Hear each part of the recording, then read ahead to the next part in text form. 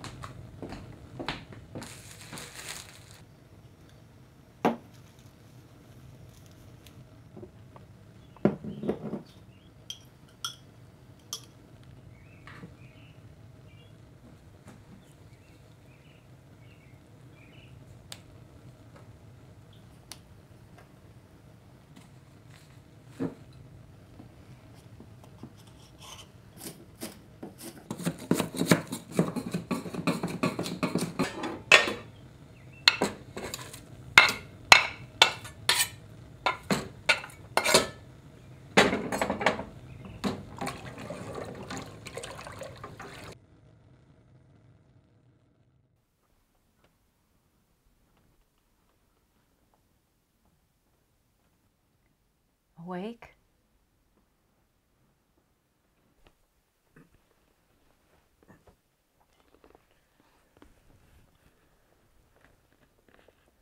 I could smell the soup in my dreams.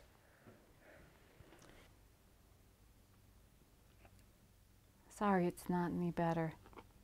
You'd think I'd be a better cook by now. Oh, you're doing fine. I wish there was more I could do. Keep these sandwiches coming. You'll be doing more for me than the doctors.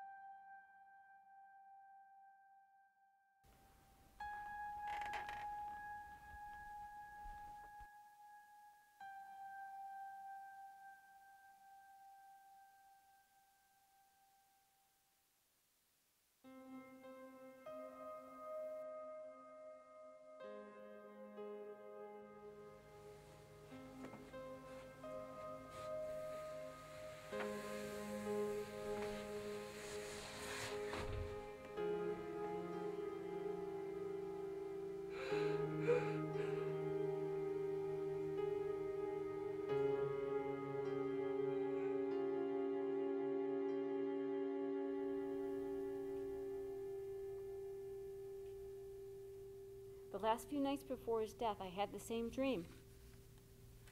He was lying in bed. I sat next to him, and then an angel appeared. I said, No, not yet. But it touched him on his chest, and Tom disappeared. All of a sudden, I was standing and staring into his coffin. I slammed it shut. And then I found a package on my countertop.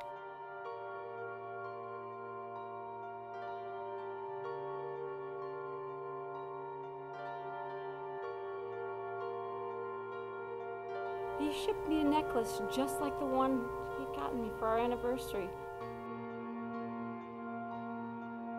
He was planning on surprising me. And then I woke up crying and I just couldn't stop.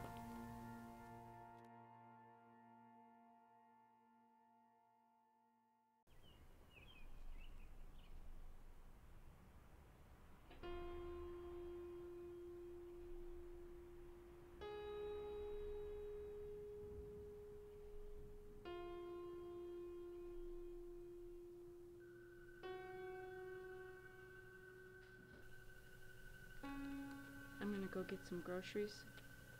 I'll be 20, 30 minutes. Call me when you're done.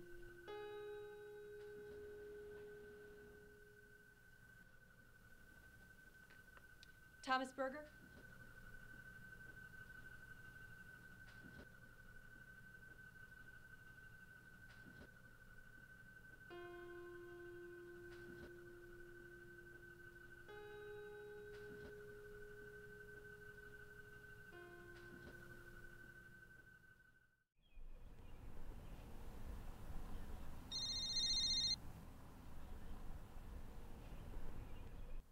Hello?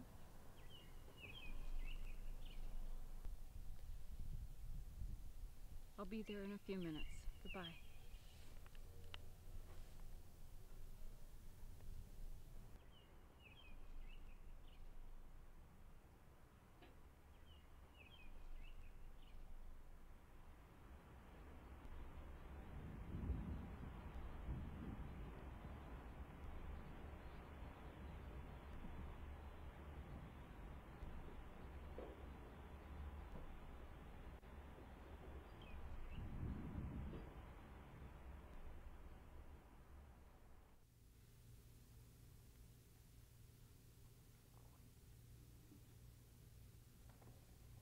Life is so fragile.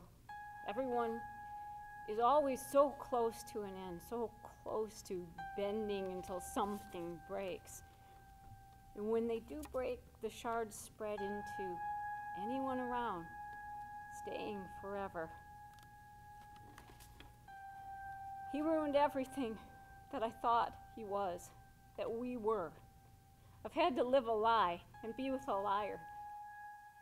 We all have good traits, but in the end, they don't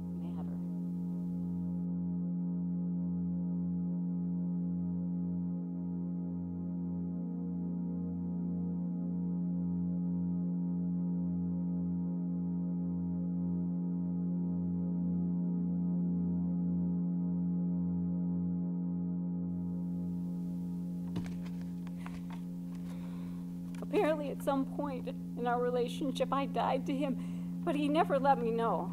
After nearly a month in bed, he can finally rest in peace and be dead to me.